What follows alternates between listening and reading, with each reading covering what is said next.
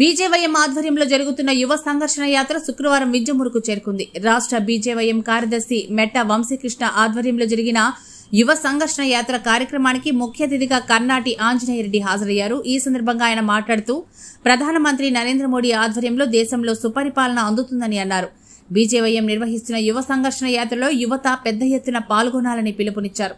ఈ యాత్ర ముఖ్య ఉద్దేశం యువతతో దేశభక్తుని పెంపొందించడమే అని అన్నారు.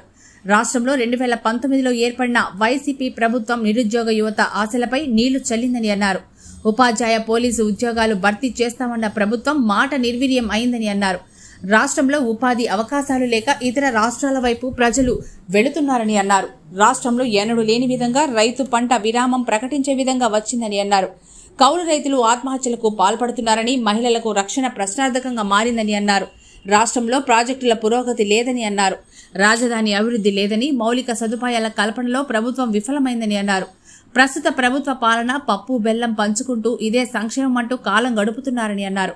ఈ ప్రభుత్వానికి రానున్న రోజుల్లో ప్రజలే బుద్ధి చెప్తారని అన్నారు. ఈ కార్యక్రమంలో జిల్లా నాయకులు పూసలపాటి సురేష్ బీజేవైఎం జిల్లా నాయకులు యశ్వంత్ సింగ్ బీజేపీ జిల్లా నాయకులు పులిచెల్ల వెంకట నారాయణ రెడ్డి నియోజకవర్గ బీజేవైఎం నాయకులు మనం హరీష్ శ్రీరామ్ శ్రీనివాసులు కదిరి వెంకట్రావు మెంటా రమేష్ దినేష్ రెడ్డి శ్రీను తదితరులు పాల్గొన్నారు.